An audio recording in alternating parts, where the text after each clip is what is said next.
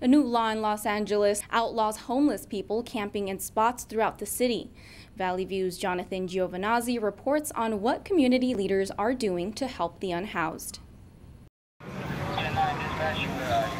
Safety, something that homeless people living on LA's Skid Row lack the most. Kyle Harding and Rusty Washington are lifelong friends living on Skid Row.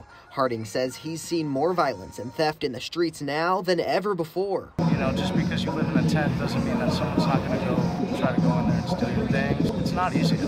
Experts say the rise in crime is due in part to a new city law that forces more unhoused Angelenos to Skid Row.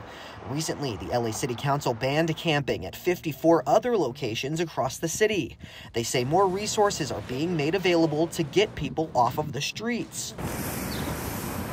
Nonprofits and volunteers have joined the fight to keep streets clean and help the unhoused.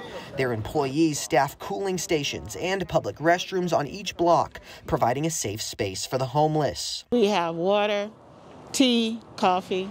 People donate lunches.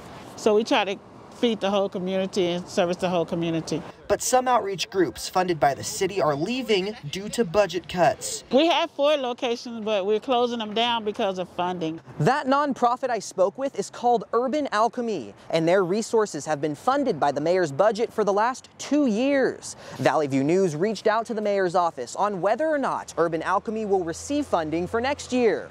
They have yet to respond. Reporting from City Hall, I'm Jonathan Giovanazzi.